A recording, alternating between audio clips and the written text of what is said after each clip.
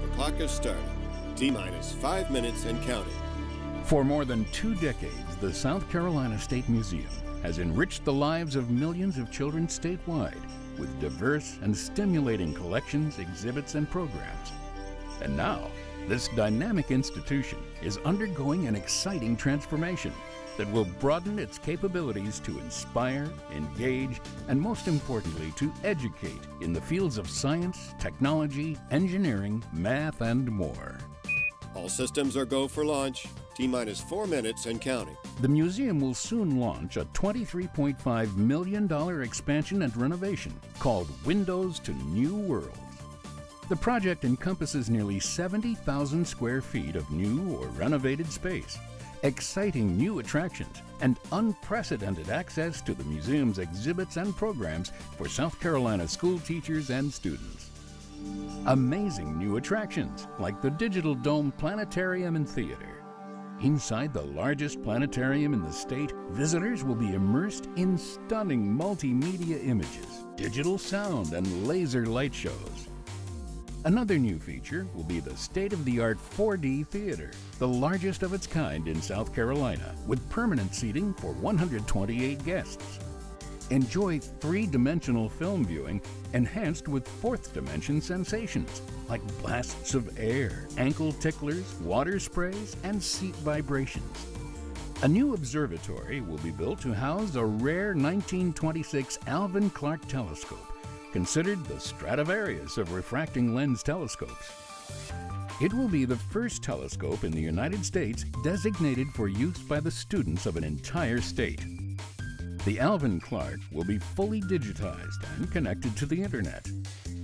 Through the museum's distance learning program, teachers across the state will be able to reserve time with the telescope for their classes to use remotely.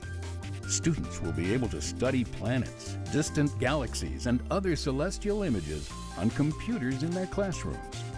T minus two minutes and counting. And when they visit the museum, a viewing platform on the roof will be equipped with telescopes available to the public.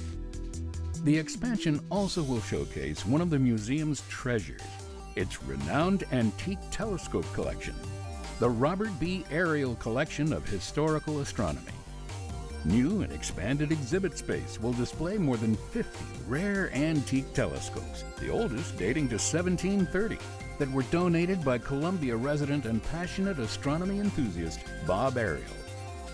The International Antique Telescope Society has rated it the most comprehensive public collection of American-made telescopes in the world.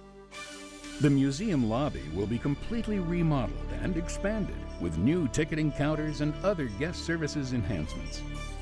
The expansion will include a larger gift shop, enhanced meeting and catering capabilities, and performance stages for community groups. T minus one minute and counting. Finally, the expansion will broaden the museum's outreach and connections across the state to extraordinary heights. As a resource center for K 12 educators in art, natural history, cultural history, and science and technology, the expanded museum will provide hands-on experiences and professional development opportunities following established curricula from the South Carolina Department of Education. There will be new space for local arts and cultural organizations to use, making the State Museum campus a true cultural destination. Creative partnerships will be forged and expanded across the state with public and private schools, universities, SCETV, tourism destinations, and other organizations. Your state museum is beginning an amazing journey of transformation.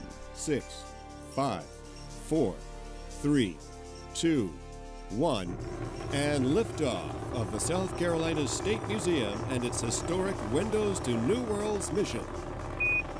To bring new worlds and exciting educational experiences within reach of every student and every person in South Carolina.